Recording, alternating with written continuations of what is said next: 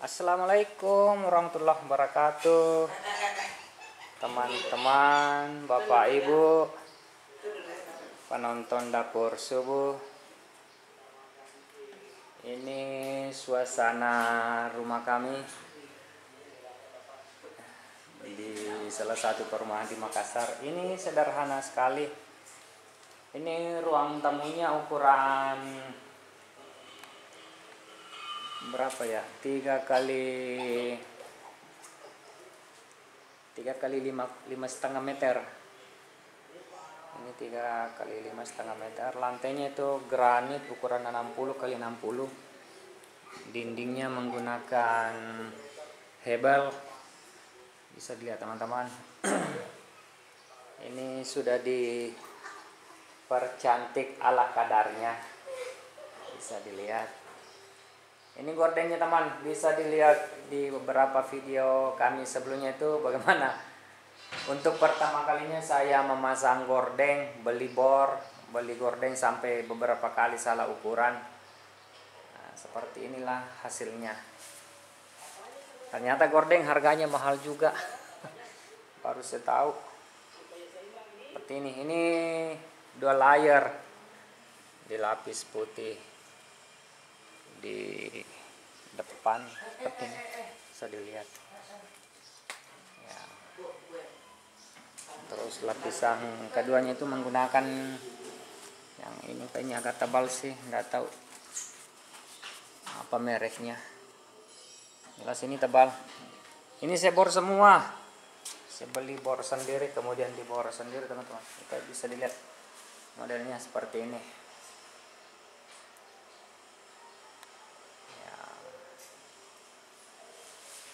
bisa dilihat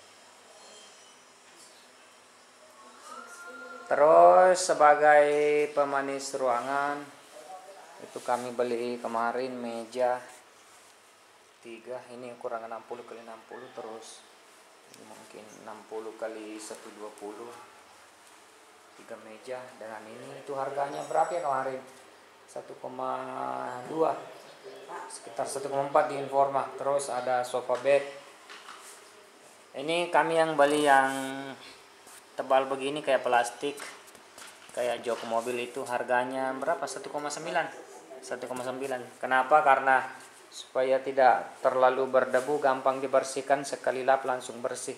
Kalau yang model kain atau bludro itu susah membersihkannya. Terus sebagai pemanis ada bantal sofa itu dua. Warnanya hampir senada dengan gorden. Ini harganya satu berapa ya kemarin 200 ribuan. 250 satu. Memang sih lembut lembut sekali. Agak mahal sih. Terus di sini pemanisnya ada bunga imitasi. Terus saya beli frame simpang foto-foto keluarga. Ini foto anak saya yang sulung. Kemudian ini foto keluarga teman-teman. Ini harganya 25 ribuan. Ini bunganya 25 ribu kayaknya. Ya sekitar 25 ribuan. Seperti inilah pemanis ruangannya. Terus ini juga ada. Ya di apa? Mister DIY ya perbatasan Gua Makassar di Hertasning ya nah, seperti ini. Saya tidak tahu apa namanya terus ini juga bunga plastik terus frame ada jam dinding. Ini harganya berapa kemarin? 88.000 ini masih ada plastiknya belum kami pasang belum digantung karena saya lupa bawa bor. Ya maunya kita bor di sini pas di atasnya TV segaris dengan ini nanti segaris dengan uh, gordeng di sini. Ya kecil-kecil suaranya tuh teman-teman. Kalau lantainya granit terus ada juga karpet merah bermotif bunga-bunga. Ini ditempati berbaring sambil nonton TV di sini. Ya, ini harga karpetnya berapa kemarin? Harganya? 100 ribuan. Nggak sampai 200 ribu. Terus ini rak TV ini harganya rak TV-nya satu juta? Sekarang tidak sampai satu juta? Apa? Ini rak rae TV oh satu jutaan ya. Ini multifungsi teman-teman. Banyak storage-nya banyak raknya ini ada penutup bacanya jadi laptop-laptop tas-tas laptop. Itu kita simpan di sini. Muat. Terus TV-nya ini TV Android Android TV 32 inch ini produk Xiaomi. Ini tipenya apa ini Koka ya Koka ini Android TV itu harganya 2,8 sekitar 2,8 ya.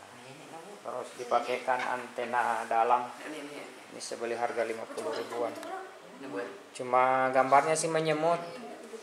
Mau agak tinggi sih tapi saya lebih suka mengkoneksikan TV ini dengan uh, koneksi internet saja biar gambarnya lebih bagus. Di sini ada colokan listrik dua ini sambungannya turun. Saya sambungkan ke belakang sini teman-teman. Masuk di sini. Berantakan sih dilihat karena banyak yang ngecas cas HP dan sebagainya. Dindingnya masih polos. Belum ada ornamen apa-apa. Belum ada. Cuma saya suka rumah ini. Ini tinggi ceilingnya tinggi.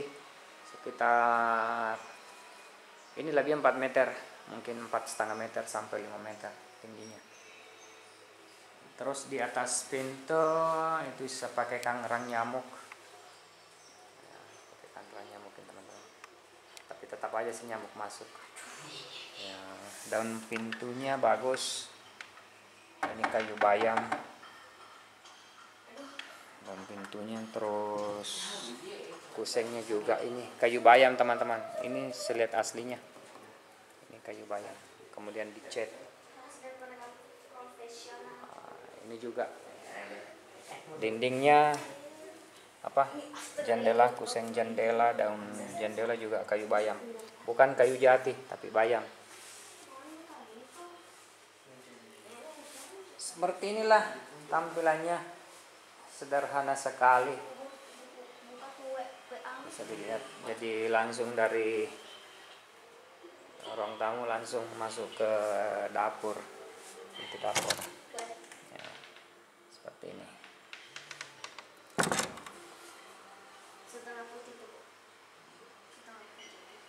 Cahaya masuk meskipun ditutup pintu cahaya tetap masuk karena di atas pintu dan jendela ada uh, kaca besar itu ukurannya berapa ya?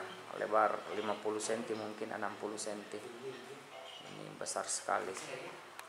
Meskipun di depan ini kita kanopi kita pasangi kanopi di atas ini teman-teman.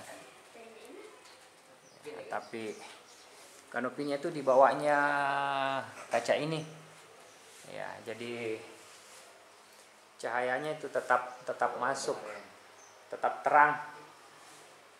Karena kanopinya kita simpan di di bawahnya lubang itu. Ini kanopinya free dari developer. Yang kanopi di atas carport ini itu free dari developer. Ini. Yang di atas ini itu sekitar tiga kali empat setengah meter itu free dari developer. Nah, kalau yang di teras atas teras ini itu kita pasang sendiri. Itu biayanya kemarin sekitar 2 jutaan 2,5 juta. Jadi yang sampai sini yang ke sini itu free developer. Kemudian yang ke sini kita buat sendiri.